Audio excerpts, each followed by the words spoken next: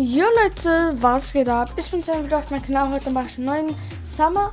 Eine Sekunde hier. Summer Escape Dose, Löschung, Aufträge. Tag Nummer 4 und zwar durchsuche Thronen.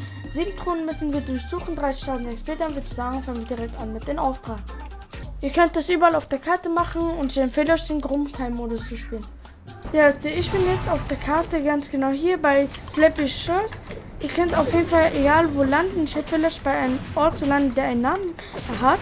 So, Truhen sind einfach hier, man kann sehen, es ist unter mir.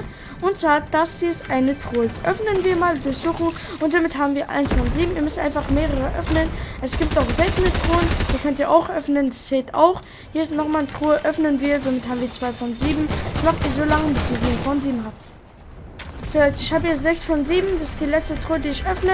Und zack, ihr seht, wir haben den Auftrag somit abgeschlossen, Leute.